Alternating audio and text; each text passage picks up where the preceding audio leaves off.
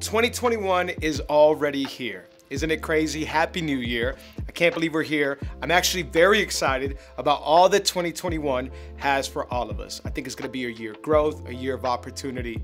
As I was thinking about this new year, I started thinking about 2020. 2020 was heavy, it was challenging, and I think it came to test a whole lot of us. Thinking back, I didn't want to have this spirit of negativity or think 2020 was the worst year ever. So I started to think, what are some lessons I learned in 2020? I came up with 10 lessons that I want to share with you. I think hopefully all of us can look back and not look at it with this kind of, I wish I didn't go through it, but what did I take from it? I'm gonna share mine, and hopefully afterwards you can share yours. What are some things that you learned in 2020? I'm gonna share mine today. Here are 10 things that 2020 taught me. Number one, 2020 taught me that life is fragile, we have to live well. Life is fragile, live well. All of us went through dark moments, difficult times. Most of us probably know somebody or somebody in our immediate family that may be passed. My family walked through that in 2020. It was challenging, it was dark, it was heavy. Life is fragile. I think many times we can feel unbeatable, unbreakable. Life is going to be forever. 2020 taught us that is not true. Life is fragile. The Bible says that we should number our days to gain a heart of wisdom. God, I don't have all the time in the world. I'm not going to be here forever. You put a number on our days. Help us to understand that so that we can live well. I started thinking, what am I doing with my time? What am I doing with my gifts? What am I doing with the things that God has deposited in me? I ask you, as 2021 begins, how are you going to live your life well? What are you doing with everything that God has given you, with the blessings He's put in your hand? 2020 taught me life is fragile, live well. Number two, we also, I think, learned, and I learned, that men will fail, trust Jesus. People will fail, trust Jesus. People around us will fail us. People will rise and fall. We, we saw throughout the year, whether it was a politician or a pastor, whatever it is, people will fail. I hope that all of us fix our eyes on Jesus, that we don't put our eyes on, man, I'm to fail. All of us are going to fail one day or another. We're going to have days where we come up short. And I pray that our faith is not on a man, it's not on a church, but it's on Jesus. He's the author and the finisher of our faith. People are going to let you down. 2020 taught me, hey, keep your eyes on Jesus, always on Jesus. People will fail us. Don't let that shipwreck your faith. Don't let that affect your faith where all of a sudden now you see God through this lens because somebody failed and somebody fell short, somebody you looked up to. Hey, look to Jesus. He's the only one that would never leave us, never forsake us. He's the only one that would never fail. Number three, I also learned huge in 2020 that fear is a killer, be free. Fear is a killer, be free. Fear is such a destructive kind of spirit. It comes and it leaves people trapped, trapped in their past, trapped in their minds, and it won't let them step out and risk, dream again, believe to step out in all that God has for them because fear will tell you that you're in danger constantly. I think fear can be a good thing, but fear can also be a negative thing where it traps us. 2020, I saw so many people living in anxiety, so many people living in worry, living in stress, living in fear. And I don't think that's the life that God came to give us. I think we had a real virus, it's still around. I hope we're all taking precautions, but I think if we're not careful, it will keep us trapped. And we have to be very careful that the spirit of fear doesn't come over our life. And now we won't even step out of our house and enjoy the life that God has given us. Be safe, social distance, wear a mask, but don't let fear trap you. Step out and believe, dream again. What does God want to do in your life? Fear is a killer. I want to live free of that. Number four, fourth thing I learned from 2020 storms will come, trust the anchor. 2020 taught us that in one day to the next, everything can change. Storms will come in our life. Life is difficult, life is hard. And I think we need to toughen up. There's a clinical psychologist that I've been reading. His name is Jordan Peterson. And I heard him talk to a group of students the other day. And he said, I want to tell you, life is difficult life is hard, if nobody's told you that life is going to be very hard and full of suffering, he said, toughen up, put your head up, your shoulders back, and be tough and honor your life by living well. And it spoke to me, and I was like, whoa. That, that's so true. Sometimes these storms will come and we think that we are going to live storm free. We're not. Life is going to be difficult. It's going to be full of challenges. We're going to get a phone call. A worldwide pandemic will happen. In those moments, trust the anchor that's Jesus. Hold on to him. He's the only one that will not crumble. He's the only one that will hold us and make sure that we're sane even when it looks like we're living in an insane world. Storms will come. We need to trust the anchor. Number five, culture is fickle. Get convictions. 2020 taught us that the culture that we're living in is absolutely fickle. They'll love us one day and then, you know, they'll cry out, crucify him the next day. If we live to try to uh, please the culture, uh, I don't think that we'll have convictions. Our convictions will be very loose. I think the Bible is pretty clear on a lot of convictions. I want to be a man of convictions. I pray that all of us have convictions on our life. That just because the world around us is going one way or saying another thing, we don't we don't crumble to that. We don't sway to that. We are people of convictions. I saw in 2020 how the culture loves some people one day, the next day they were hating on them, right? Don't live to that. Don't live to appease people in that sense. We love people, but we want to please God. Get some convictions in your life. Get in scripture. Be a man or a woman of convictions. I'm going to be a person of convictions. The culture may not like me. They did not like Jesus. Jesus says they will hate you because they hated me right? It's going to be difficult sometimes. Some people will not love us. That's fine. But I'm to have some convictions in my life. This is who I am. This is what I believe. This is what I stand for. The culture is fickle. Get some convictions. Number six, sixth thing I learned from um, 2020 idolatry is prevalent. Worship God. Idolatry. I saw it so much in 2020.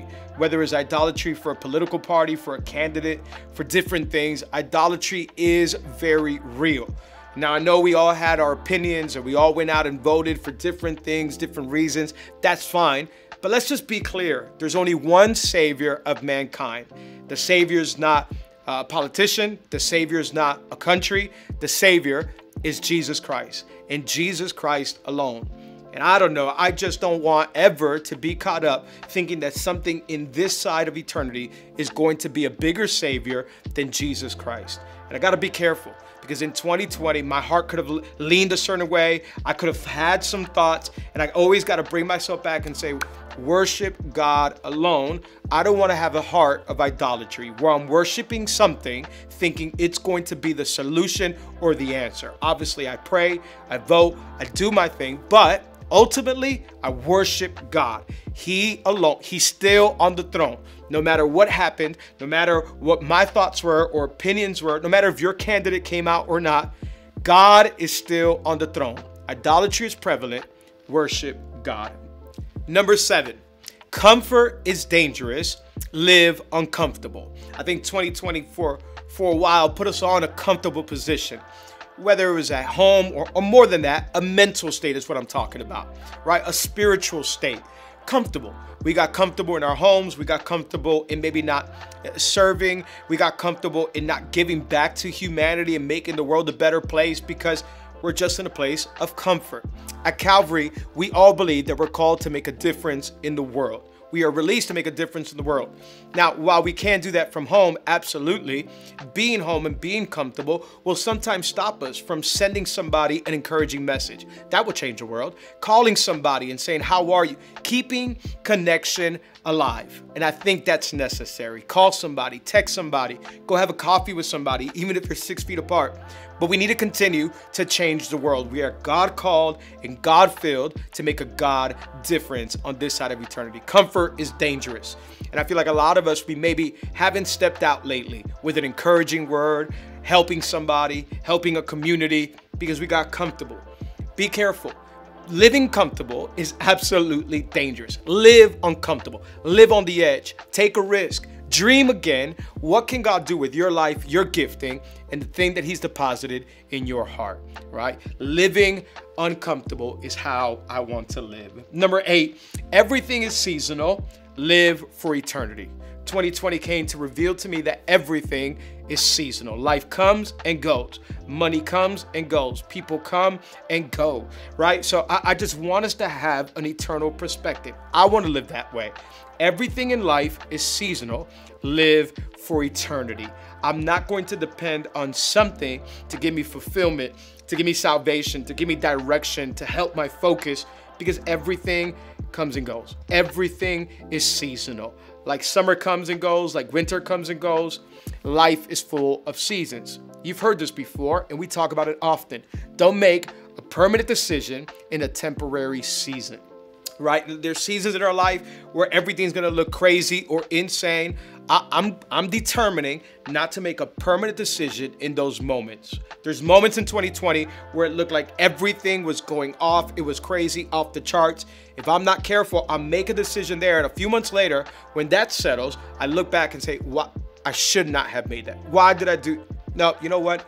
Life is seasonal. Live for eternity. I hope that all of us can live with that mindset. Number nine, everyone's the same. Be different. Another big lesson I took away from 2020. Everyone is the same. We jump on Twitter or on Instagram or on Facebook, and it seems like everybody's doing the same thing, saying the same thing. It could almost become like a spirit. Like, if somebody's negative, we'll all get negative that day. If somebody starts a trend, we all follow that trend that day. And I don't know, I just feel like 2020 showed us the value of having a different spirit. I want to be like Joshua and Caleb. I want to be different. Maybe that means like dressing however you want to dress. Don't dress like everybody else just because you see it on the gram. Like be you. There's certain things about you. Uh, it doesn't matter if they're quirks, if they're like peculiar. It doesn't matter. Like be you. Everyone's the same. Be different. What's the different thing that God is stirring up in your heart as a church? We've talked about it this past year and we've made changes from our auditorium to the style of certain things that we do and we're just gonna try it out. We wanna be different. We wanna be us, what God is putting in our heart. And I think there's nothing wrong with it. In fact, I think there's something beautiful in that. In fact, I think the world around us looks so similar. People are looking for something different. There's something different about you. Follow that, pursue that. Be you, your gifting, your talent, your voice, your personality. Everyone is the same. Be different. Number 10, the last thing I've learned from 2020 this world will pass, get in the word. Everything in this world will pass. 2020 showed us how everything can change in a moment, how life can crumble in a moment. The economy can crash, our health can crash, everything will go. There's one thing that we will remain always, and that's the Word of God. I'm determined in my own life to get in the Word more each and every single day. We've been talking about this at Calvary a lot. I, I, want a church of people that aren't living their life with Jesus based out of feelings or emotions. Those are great. But I want a church that's strong in scripture. I want a church that's strong in relationship, that we get in our word. They interviewed Billy Graham at the end of his life and they said, if you could do anything over again, what would you do? And here he is at the end of his life, at the end of the ministry. He said, I wish I would have prayed more and read the Bible more. I, here I am thinking he's gonna give an answer like I wish I would have gone to more countries or I wish I would have said more things. Like, now I just want to know Jesus better. I want to get in the Word because everything else will pass except the Word of God. 10 things that 2020 taught me. Hopefully that helped you get some perspective on the past 12 months. Yes, they were challenging, but I hope we came out better because of them. What are some things that 2020 taught you? Let us hear from it. I would love to hear from you and see how you got better. We love you very much. 2021, come on, let's dream again.